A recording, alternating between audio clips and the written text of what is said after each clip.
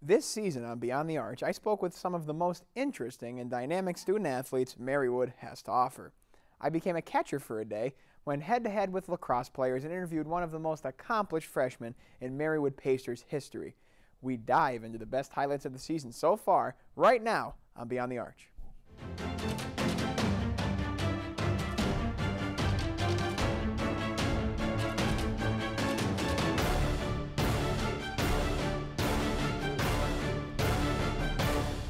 My first guest on the show was a sophomore catcher for the Marywood Pacers baseball team, Anthony Navarro. While interviewing Anthony was easy, trying to be a catcher like him was difficult. I only spent about 10 minutes with him, but it felt like an hour. Here's the first one on one segment of the semester. Today I'm at the Marywood Pacers baseball practice, where I'm going one on one with their catcher, Anthony Navarro. He's going to put me through a bunch of drills, so we better get going because I don't want to be late to practice.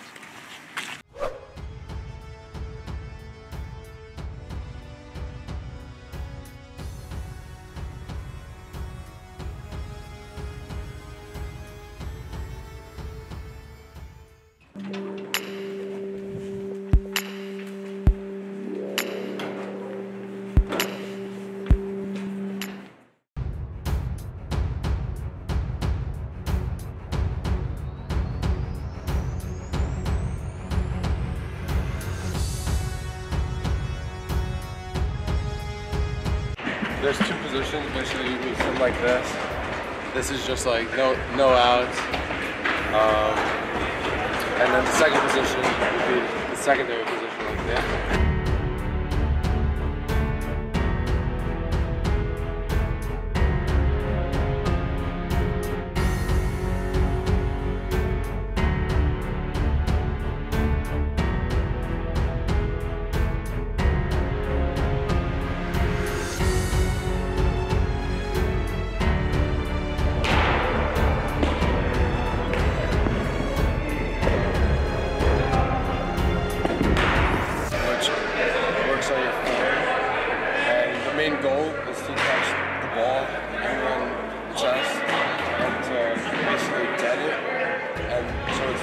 Like three steps in front of you. If you could throw harder at him, you could have him like block. Drop down.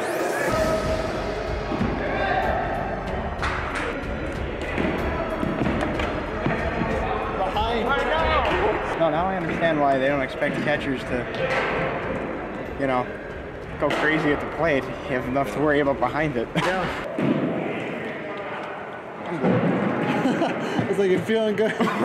So basically, we're throwing down the second, okay. and we're working on the transfer here. Take the take the glove to the ear, and then do a step through, and then throw it down.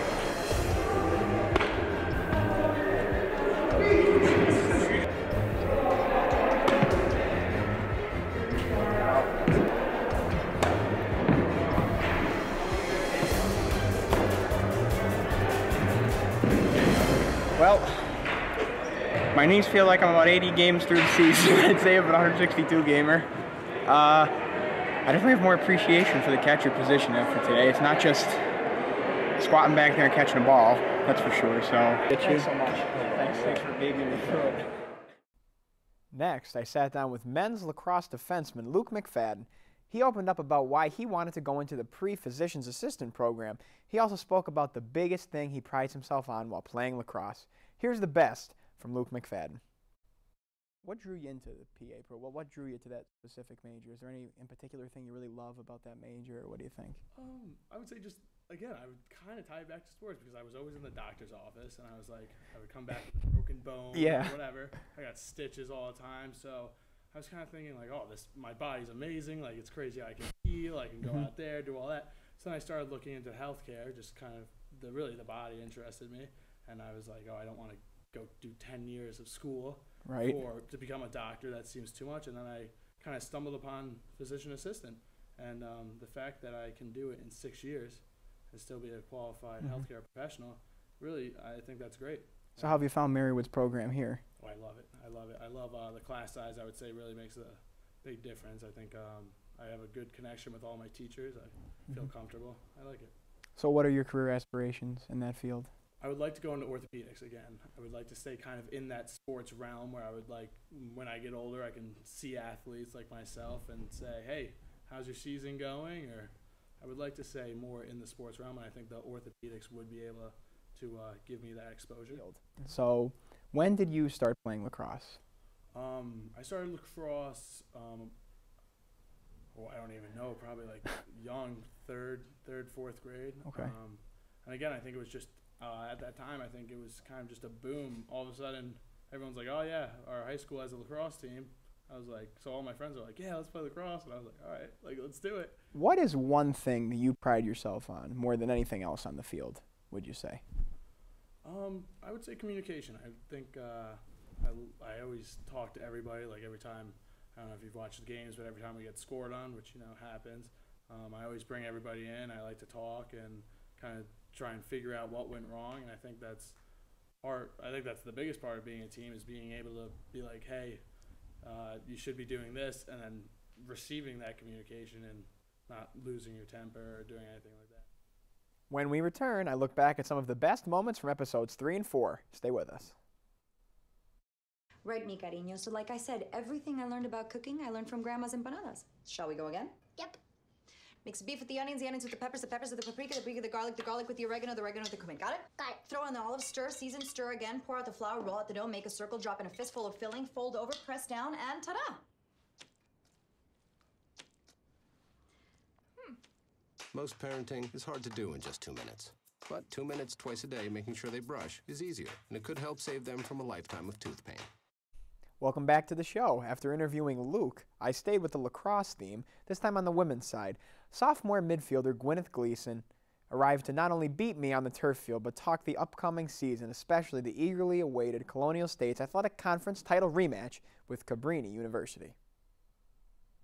So what's the first shot we're going for? So the elevator shot is when you start low and then you kind of work your way up as you're shooting. Like that. Elevator shot.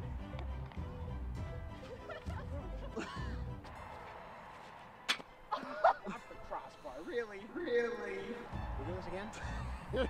Until you make it. Oh, wow. Well, So behind the back.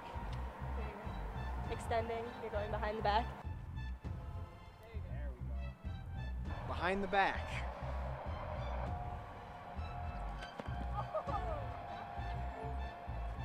Have you guys faced that direction? I'm going to roll out a ground ball. Whoever picks up the ground ball is on offense, whoever doesn't is on defense, and then the offender is going to go to cage to try to score. Oh, okay. You ready? Yeah. Go.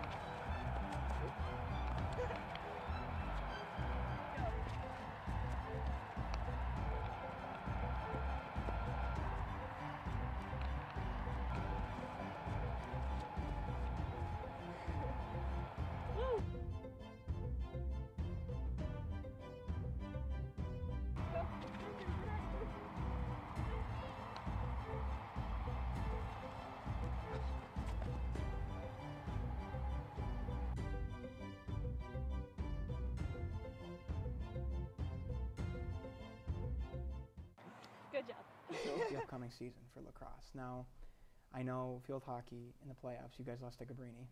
And then Per usual. lacrosse, actually, same fate. So, Yep.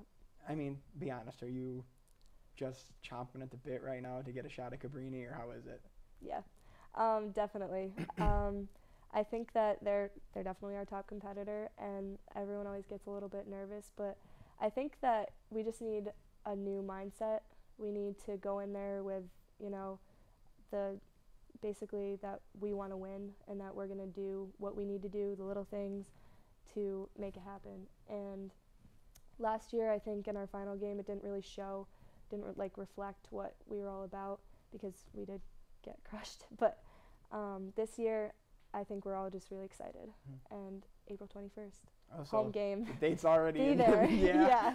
So we're all ready. That date's circled then, right? Oh, the yeah. so Highlighted. is it more of a mental thing or a physical thing, or what is it? Is it just a mental stumbling block? I think it's mental because we've been putting in a lot of work uh, physically, but I think it's all a mental game. You just got to go in there with the right mind. We wrapped up the first half of the season interviewing one of the most accomplished freshman athletes, cross country and track athlete David Haynes. Here are some of the best moments from my interview with David. How did you get to Marywood? Well, I mean, the col like looking for a college, I I hate, I didn't really like it that much. you know, I was Yeah. very happy when it's over. But um, I kind of knew I wanted to stay like local, Mm-hmm. commute. So I mean, like had a couple options with the different universities and colleges around. But um, also knew I wanted to run. So, and uh, I knew Kevin. He's my one of my coaches here at Marywood. He's a good friend. So uh, that kind of brought me here too. And also the major, I'm early childhood education major, so that was a big part too. What draws you to running? Because I feel like you know, for somebody like me, okay, like I mean, you know, it- it's it's okay, but it's it's Mhm. taxing. It's a lot of work. It seems like a grueling sport. So what? Just why, why running?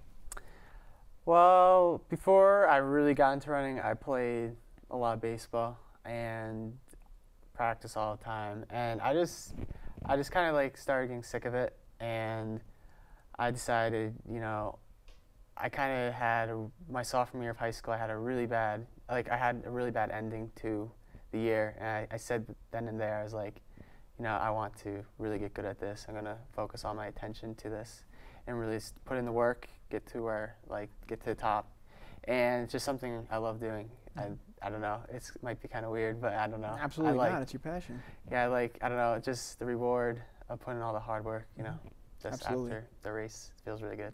What does it feel like to you when you're running? Like, is it? But some people say like, you know, it's this great, beautiful thing. Like, they feel like it's so nice and it's like freedom. Like, do you feel like that, or do you feel like, oh my God, like my legs are on fire? Like, what do you feel like? At times it's really nice, and other times, like I said, you question I question why I do it. Um, but no, it's it's good to clear like your mind. Uh, you think about a lot of stuff. You know, you're out there for quite a while at times. But um, yeah, there's definitely times and days where you just I don't know rather sleep, Yeah. stay in bed. I want to thank you for watching tonight. Next episode, swimmer Zach Costello is here. Head over to TV Marywood's official YouTube page to watch full episodes of the show. Be sure to follow TV Marywood on Twitter and like us on Facebook. From everyone at TV Marywood, have a great night. Thank you.